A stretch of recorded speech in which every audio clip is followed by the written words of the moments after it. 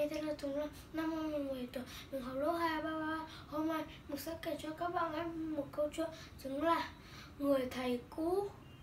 Giữa cảnh nhộn nhịp của giờ rét chơi từ phía cổng trường bỗng xuất hiện một chú bộ đội. Chú là bố của Dũng. Chú đến tìm lớp của con mình để chào thầy giáo cũ.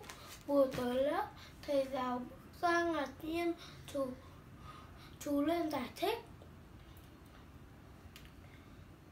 Thương thầy, em là khánh học trò năm nào?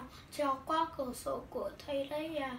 À khánh đấy à? Thầy nhớ ra rồi, trước khi làm việc gì cũng phải suy nghĩ chứ. Thôi thôi, em về đi, thầy không phạt em đâu.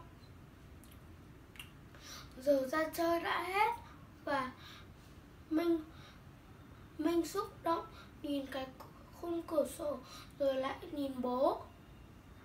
Xin chào các bạn, mình đọc xong rồi ạ.